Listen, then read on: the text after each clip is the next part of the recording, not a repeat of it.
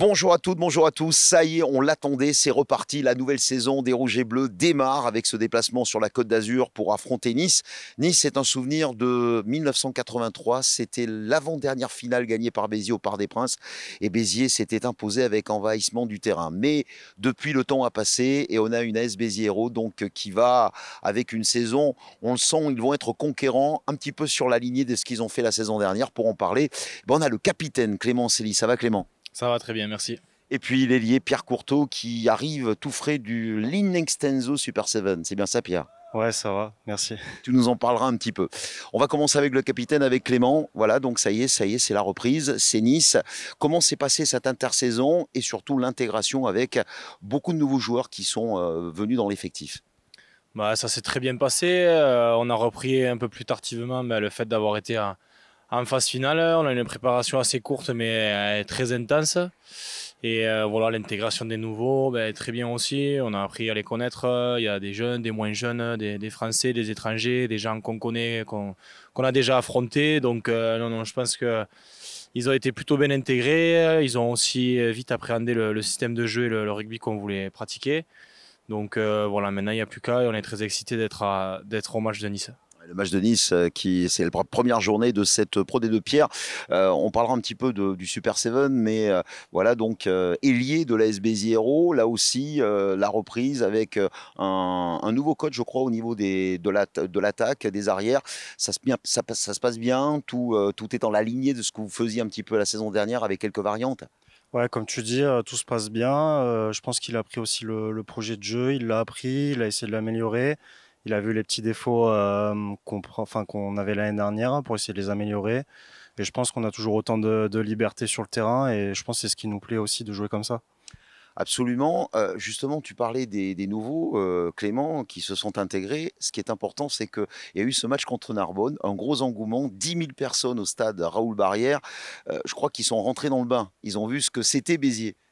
Ouais, exactement. Mais déjà, nous, les, joueurs présents l'année dernière, forcément, ça, fait chaud au cœur de voir autant de monde pour un match amical. Voilà, on sait que Narbonne, ça, ramène du monde, la Feria aussi. Donc, euh, mais honnêtement, on ne s'attendait pas à ça. Et les nouveaux, ben forcément, les nouveaux, euh, qu'ils arrivent de, Pro D2, Top 14 ou, euh, Christian du championnat anglais, ils ont tous été impressionnés par le fait qu'un un match amical en plein mois d'août où il y a 10 000 personnes, c'est assez particulier, on va dire puis le passage aussi devant la tribune euh, où euh, ça a poussé comme si c'était un match euh, officiel. Ouais, exactement, ça a poussé clairement. Voilà, on sait que les gens d'ici, ils aiment aussi les derbies qu'il y a pu avoir avec Narbonne. ça fait partie de, l'histoire de la région et du club, donc ça nous a mis dans le bain pour la saison et on a hâte vraiment d'en découdre sur les, matchs officiels et, retrouver nos supporters. Pierre, cette année Béziers, alors l'année dernière on était des outsiders éventuels au top 6. Là, ça y est, maintenant, on est euh, carrément, euh, les médias le disent, les bookmakers le disent, Béziers est euh, voué à être dans le top 6. Ça, il va falloir confirmer. Ouais, c'est toujours dur la saison après avoir été outsider et avoir fini dans le top 6 de, de rattaquer une saison. Il y en a qui sont tombés les années d'avant, d'autres sont restés. Et nous, l'objectif, c'est clairement de rester dans ce top 6. On veut afficher les ambitions dès le début, donc il va falloir faire le, le boulot à Nice. quoi. Alors, avant de parler du match de Nice, justement, parle-nous un petit peu de ce Super 7. Ça a été une belle expérience Ouais, euh, c'est pas la première fois que je le fais. Euh, les fois d'avant, j'avais fait avec Monaco. Ici, c'était avec euh, l'ASM. Ça fait plaisir de, retourner en Auvergne parce que je suis de là-bas. Et ça fait plaisir de faire un peu de set. Et je suis revenu pour, pour ce match. Donc, hâte de rejouer au 15. Ouais.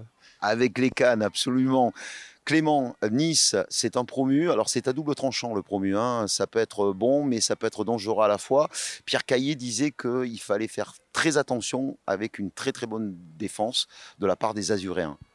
Bien sûr, Nice maintenant c'est une équipe de Pro D2. On ne parle pas d'eux comme si c'était une équipe de nationale ou d'un promu. C'est clairement une équipe de Pro D2 qui s'est bien renforcée.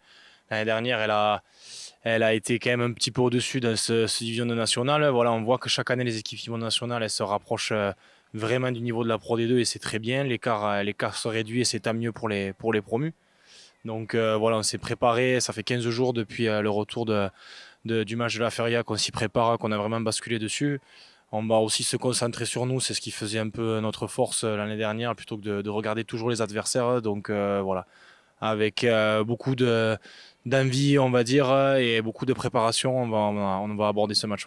On vous le souhaite en tous les cas. Euh, pareil, comme Clément, euh, Nice, attention, euh, ça peut le faire, mais c'est une équipe qu'il faut prendre très au sérieux parce qu'il peut y avoir danger. Ouais, comme il a dit, c'est une équipe de Pro D2. elle vient avec ses ambitions. Donc nous, à nous de répondre présent, de, de faire le job. Et on sait que ça va monter fort en défense. Et, à nous de, de, répondre, de bien attaquer comme on a su le faire face à Narbonne et comme on a su le faire toute la, saison dernière. Donc euh, il ne reste plus qu'à gagner. quoi.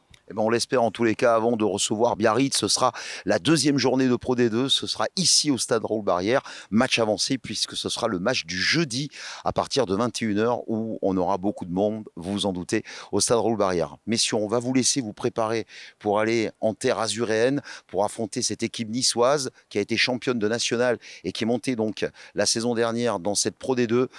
On termine comme d'habitude, vous le savez, à qui à qui S. Béziers? Absolument.